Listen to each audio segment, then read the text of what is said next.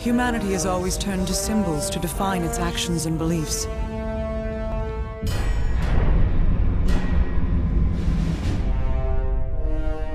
But too often, the symbol corrupts the truth.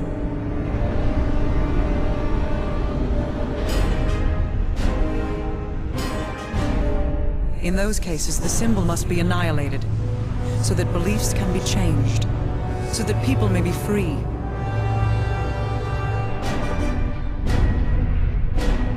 So that wars can end.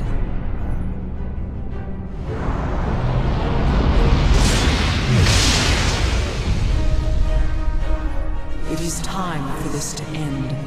There will be peace. You and your children are free. We will hunt you no longer.